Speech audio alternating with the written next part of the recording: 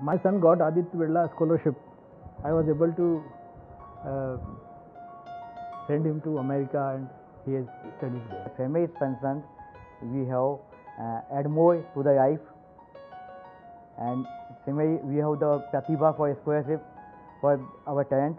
My son also got Pratibha when he was doing his engineering from University Bhopal. What really keeps me in the group is family atmosphere, The biggest factor that has ensured that I have stayed with the group has been the uh, kind of people that I have had an opportunity to work with.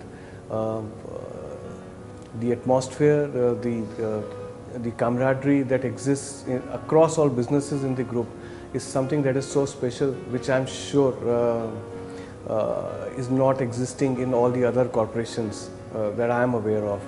In 2007, Hindalco acquired Novelis. And in any acquisition, obviously there was some trepidation on the part of the Novelis employees on what this experience was going to be like.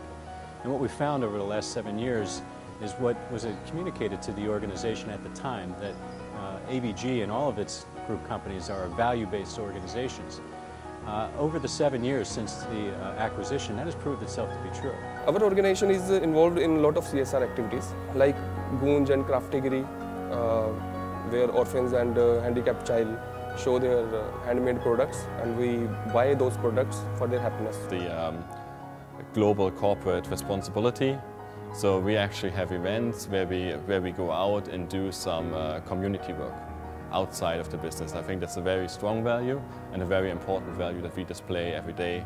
And for example, I was in uh, Brazil last week uh, painting a small kids playground. So we, we, we really try to help to um, support the local communities. employees and their families, because of the work life balance what we have, feel very good. There was not even a single boring day for me in Idea and Aditya Birla Group. And emotionally, I would say I found my soulmate while working in Idea.